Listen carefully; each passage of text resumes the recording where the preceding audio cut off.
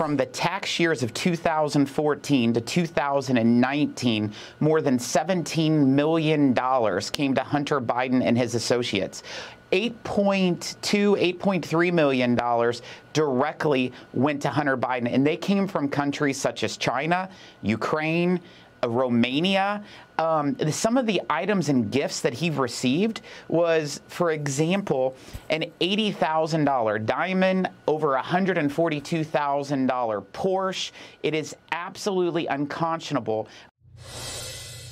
And that was House Ways and Means Committee Chairman Congressman Jason Smith with me on Fridays mornings with Maria over on Fox Business on the amount of money Hunter Biden and his family took in from 2014 to 2019 uh, from foreign nationals and then evaded taxes on top of the influence peddling.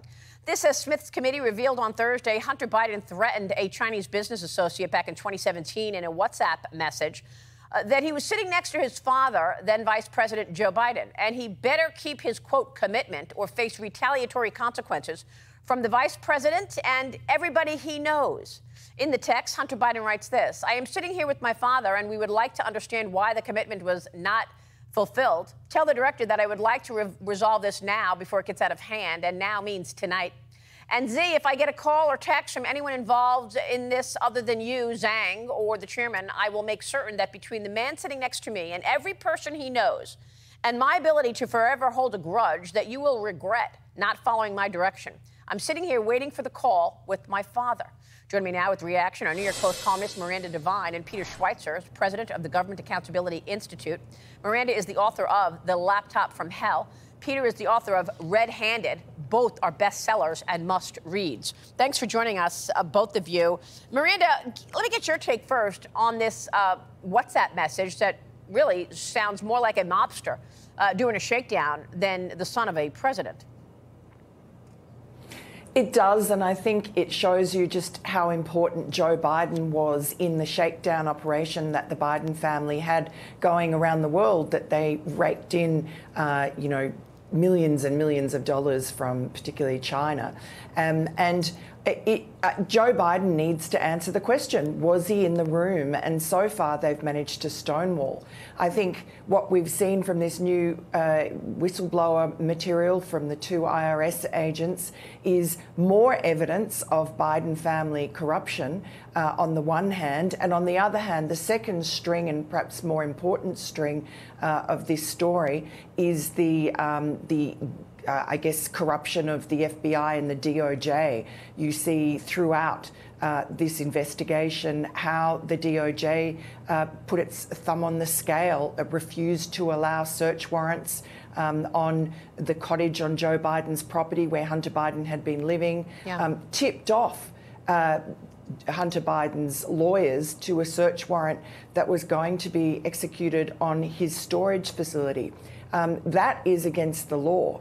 Uh, so th- I think that uh, you're right that the gloves need to come off uh, with the Republicans. They have a lot of power. Congress has a lot of power to compel people to uh, to testify, and if they refuse, to hold them in contempt. Yeah. And if they flout those contempt laws, to then fine them every day. They don't need to rely on the DOJ to enforce anything. Mm, very good point. Look, you both have broken so much news on this story. Peter, you broke a lot of this years ago uh, about the Biden family influence peddling, and you've got new information this morning, uh, breaking news on a cell phone that Joe Biden was using. Tell us about that. Uh, yeah, I mean, it's interesting. What is the line of communications between Hunter Biden and his business partners and Joe Biden when he's vice president of the United States? It's not the government phone, it's not Joe Biden's personal phone. We know from the laptop that Hunter Biden's business paid for a private phone line that Joe Biden used while he was vice president. It was from AT&T. It was $300 a month. It was a global phone where you could access somebody anywhere around the world. Uh, we shared that phone number and that account information with people at the House Oversight Committee. My hope is that, that they haven't already, they will subpoena those records because I think it will give an indication on how tight the communication was. Uh, and that may be the phone phone, for example, that the Ukrainian, the Burisma executive, might have used uh, in this allegation uh, that he talked to Joe Biden in re- recorded conversations. I-, I would just say one other thing, Maria, as it relates to that sort of shakedown phone call with Henry Zhao uh, that we alluded to. Henry Zhao in 2015 had already sent $5 million to the Bidens. Uh, he was the head of a harvest investment firm.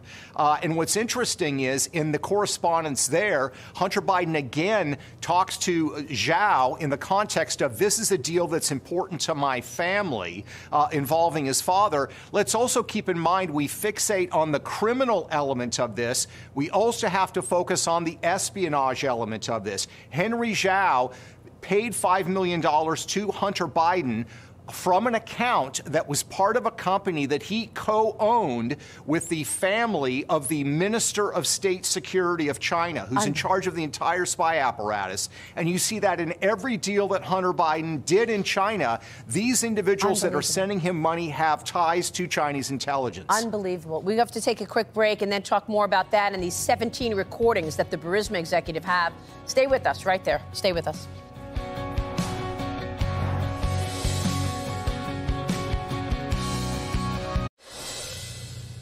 Welcome back with Miranda Devine and Peter Schweizer. Miranda, what's most important in terms of a takeaway from your standpoint on this investigation now? Look, I think that it's pretty clear that Joe Biden lied to the American people when he said he knew nothing about his son Hunter's overseas business dealings. We now have two new allegations that yeah. Hunter Biden was uh, meeting with those Chinese executives at the Four Seasons Hotel in December of 2015 yeah. with his son Hunter. Uh, and we also know that uh, Hunter Biden says that his father was in the room when they were shaking right. down the Chinese. He met with over a dozen of Hunter's overseas business partners. Hunter put him yeah. on the speakerphone when he was meeting with these partners. Yeah, but, uh, I mean, it's beyond the, the time for it, Joe though, Biden. I mean, pardon me, the bulk of it, though, Peter, all this money that the Biden family has taken in, for what? What's their business? Yeah, the product was Joe Biden. I'm Steve Doocy. I'm Brian Kilmeade. And I'm Ainsley Earhardt. And click here to subscribe to the Fox News YouTube page to catch our hottest interviews and most compelling analysis.